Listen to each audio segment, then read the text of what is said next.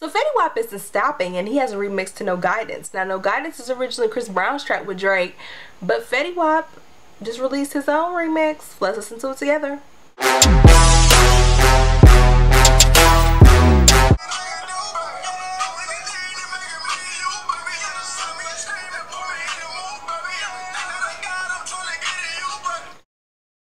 Now he went back to the old Fetty Wap. Now the other one that had kind of more control over his voice, I like that one more.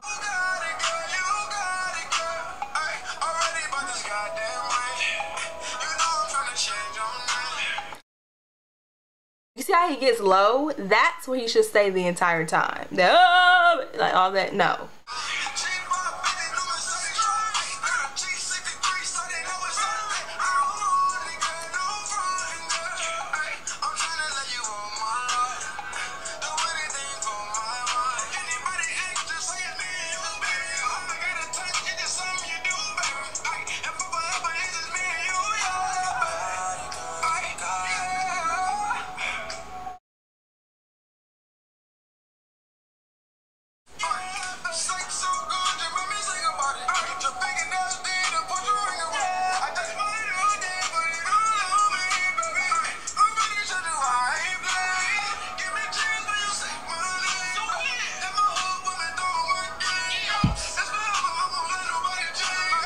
Beginning of the track, I was like, he should have stayed in that lane for this entire track. When he got, oh, baby, and he got high pitch, it starts to get annoying.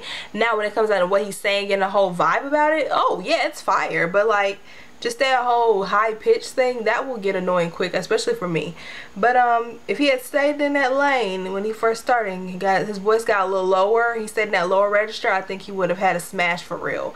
But um bars and what he was talking about and the whole message behind his remix yeah definitely gets an A but when it comes down to the whole delivery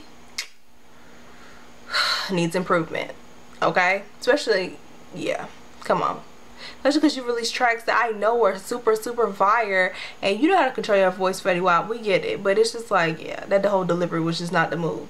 In the comment section let me know how you feel. Share like the video and I'll see you later